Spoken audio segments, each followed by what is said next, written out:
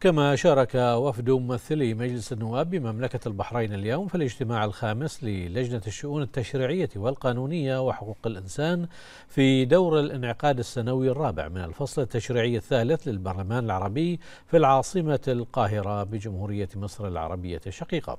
وخلال الاجتماع ناقشت اللجنة المسودة الثالثة لمشروع قانون عربي استرشادي لمكافحة التنمر في العالم العربي لما يمثله من مخالفة جسيمة لتعاليم الأديان والقيم والأخلاق الحميدة واعتداء صريح على حقوق الإنسان.